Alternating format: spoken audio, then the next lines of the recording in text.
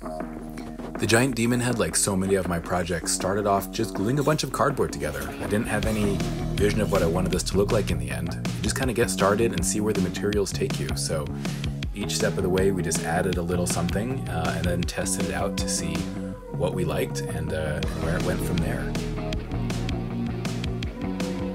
There's a lot of uh, small parts that are 3D printed here, so um, we used a lot of servos, uh, tiny little 9 gram servos, and 3D printed parts that were combined with craft foam. The eyeballs, for example, are craft foam.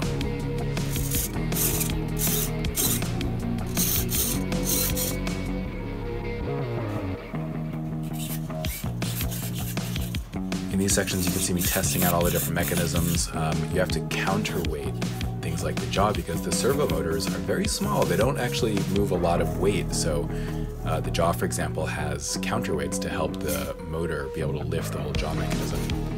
The skin on this guy is actually plastic bags, recycled plastic bags. We glue them onto the frame and then hit it with a heat gun, and it melts them, giving it this crazy, like wrinkled look, which I ended up loving. I just hit it with some spray paint, and uh, yeah, it came out really well, I think.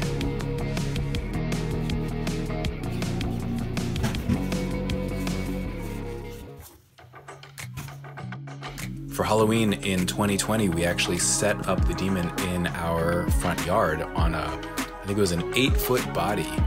So the head is about three feet tall. We put it on like a seven or eight foot body. So the whole thing together is about 10 or 11 feet tall. And uh, it had its own button you could step on to activate it. We love our projects to be interactive. So there's always controls that let other people control them.